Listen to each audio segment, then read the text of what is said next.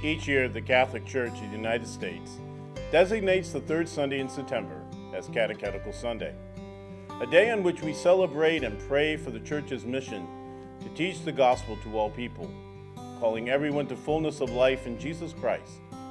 This year, Catechetical Sunday will be nationally celebrated on September 15, 2019. The theme is Stay With Us, quoting the two disciples on the road to Emmaus who encountered Christ and asked him to stay with them on the journey.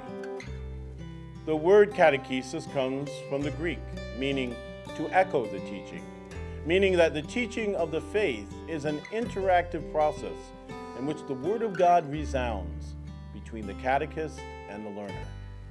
The aim of catechesis is to bring others in communion and intimacy with Jesus Christ through a lifelong process of initial conversion, formation, ongoing conversion. What does it take to be a catechist? Really, all it takes is your faith and your joy.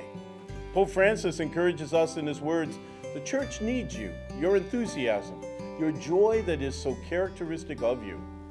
Responding to the call of the catechist means a willingness to give one's time and talent, not only to catechizing others, but also to tend to one's own growth and understanding of the faith. Here are some things to consider as you ask yourself, Am I being called as a catechist? A catechist is a person who faithfully believes in Jesus and is a witness to his message. A catechist is a person who wants to see the children and youth grow in their relation with God and church.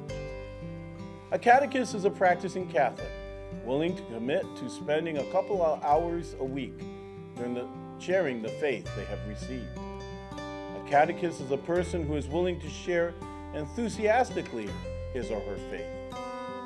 A catechist is a person who wants to learn more about the Bible and Christ's teaching. A catechist is a parent, grandparent, single person, college student, or high school student.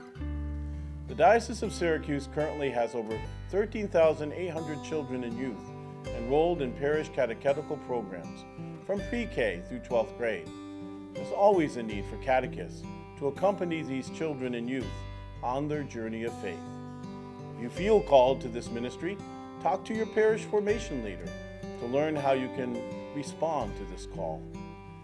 This year on Catechetical Sunday, take time to thank all those who have dedicated their time and talent to share the gospel and consider the ways you are called to share the good news in the world today.